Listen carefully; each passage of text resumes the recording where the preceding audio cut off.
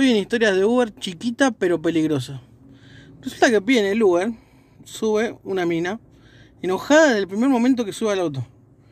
Te das cuenta una cara de orto mal, mirando el celular, y rezongaba, refufuñaba sola. Yo manejaba, no le daba pelota. Simplemente le pregunté el nombre y si era el lugar donde íbamos el que marcaba. Me dijo que sí, comencé el viaje. De repente, a las 10 cuadras de viajar, me empieza a decir, ¿te parece a vos lo que me hizo este hijo de puta? ¿Te parece lo que me hizo? ¿Qué tengo que hacer? ¿Qué tengo que hacer? ¿Te parece a vos? Yo le digo, digo la verdad, no sé qué te hizo, pero parece que algo muy malo. Y ahí me entero que el WhatsApp se puede clonar. Me dice, le cloné WhatsApp a mi marido. Y me acabo de enterar que está con otra mina. Estamos yendo a buscarlo. Yo dije, uy, la puta madre. Por suerte